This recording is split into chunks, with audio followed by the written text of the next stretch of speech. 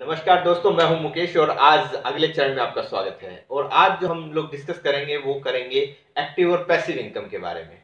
तो दोस्तों इनकम जो होती है, वो दो तरह की होती है। एक होती है एक्टिव इनकम और एक होती है पैसिव इनकम एक्टिव इनकम वो इनकम होती है जब हम किसी भी सिस्टम में खुद इन्वॉल्व होकर एक्टिव होकर जो इनकम अर्न करते हैं, वो हमारी एक्टिव इनकम कहलाती है। जैसे सपोज़ कीजिए, अगर मैं टीचिंग करता हूँ, मैं अपनी टीचिंग स्किल बेच के जो वेतन अर्न करता हूँ, जो इनकम अर्न करता हूँ, वो मेरी एक्टिव इनकम कहलाती है।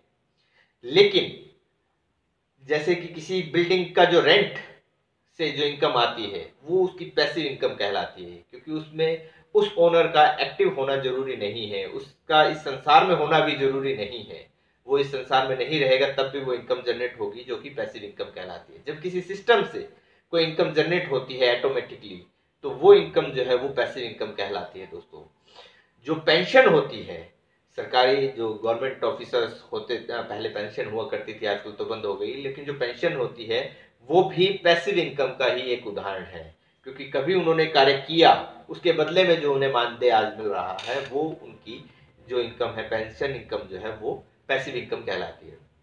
तो जितने भी बड़े बिजनेसमैन हुए हैं, जितने भी बड़े जो लोग फाइनेंशियली फ्री हुए हैं, जिनको फाइनेंशियली फ्रीडम प्राप्त हुई है आज तक, उन्होंने, सभी लोगों ने पैसिव इनकम पे ज़ोर दिया है, अपनी पैसिव इनकम को बढ़ाने पे ज़ोर दिया है।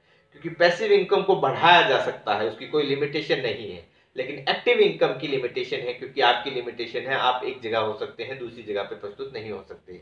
और एक्टिव इनकम के लिए आपको वहाँ पे एक्टिवली वर्क करना पड़ेगा, आपको वहाँ पे एक्टिव होना पड़ेगा, यानी कि आपको वहाँ मौजूद होना पड़ेगा। और आपकी एक लिमिटेशन है, आप एक जगह से दूसरी जगह पे उपस्थित नहीं हो सकते।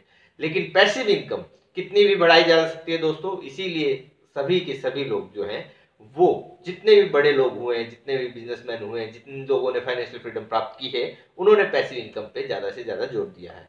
तो आज के लिए इतना ही दोस्तों। मेरे ख्याल से आप लोगों को बहुत अच्छे तरीके से समझ में आ गया होगा कि एक्टिव इनकम क्या होती है और पैसिव इनकम क्या होती है। अगले चरण में फिर से हाजिर होंगे एक नए टॉपिक के साथ thank you very much that's all for today thank you दोस्तों।